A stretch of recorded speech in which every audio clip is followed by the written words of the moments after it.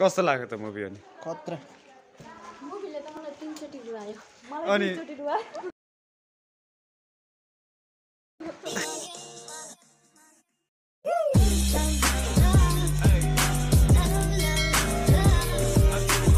hello everyone welcome back to my YouTube channel I hope सबैजना सन्चै हुनुहुन्छ होला।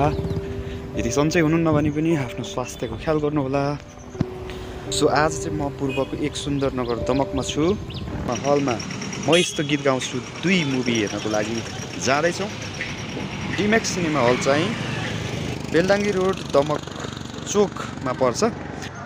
र मुभीको टाइम थोरै पछि भएकोले गर्दाखेरि तपाईँहरूलाई यहाँको केही डिमेक्स सिनेमा हलसँगै जोडिएको सपिङ कम्प्लेक्सहरूको बारेमा पनि म तपाईँहरूलाई केही देखाउन गइरहेको छु।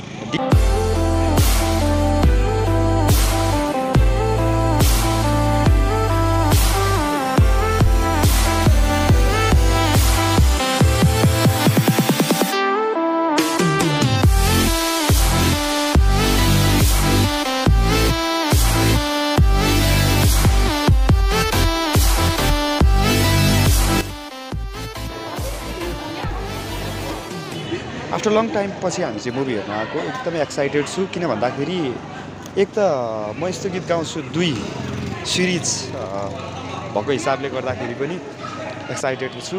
त्यही माथि पल्स आएको मुभी सो एक्साइटेड छु। अब हेरौँ कस्तो रहेछ मुभी हेरेर नै थाहा हुन्छ त्यो कुराहरू त मुभीभित्रको कथाहरू। मेनली त यसरी हलमा लङ टाइम पछि नै हामी मुभी हेर्न पाउँदैछौँ त्यो पनि नेपाली। किन भन्दाखेरि अहिले यो कोभिडको कारणले गर्दाखेरि धेरै समय चाहिँ मुभीहरू लागिरहेको थिएन नि त। सो आज भनेपछि हामी एकदमै लङ टाइमपछि मुभी हेर्न जाँदैछौँ। एक्साइटेड छु। सो फाइनल्ली हामीले चाहिँ टिकट लिइसक्यौँ है गाइज अब टिकट लिइसक्यौँ। अब हामी हलतिर अ, मुभी फिल्म पनि सकिसकेको छ। फिल्म एकदमै राम्रो बनेको रहेछ। अझै यो फिल्मको मेन त गानाहरू एकदमै धेरै राम्रो रहेछ। कस्तो लाग्यो त मुभी अनि? खतरा। अनि- हो र? नरुनु न। मेन पिलर त गाना नै भन्दाखेरि पनि फरक नपर्ला किन भन्दाखेरि यति मिठो मिठो गानाहरू छ। जुन गाना चाहिँ सबैजनालाई मनपर्छ पक्कै पनि। र जे होस् नेपाली कथावस्तु यतिको राम्रो नै मान्नुपर्छ ठिकै नै छ। गाइज यहाँहरूले पनि मुभी हेर्नुभएको छैन भने पक्कै पनि एकचोटि हेर्नुहोला। एकदमै राम्रो मुभी छ। र आजको भिडियो यहाँहरूलाई आजको ब्लग कस्तो लाग्यो?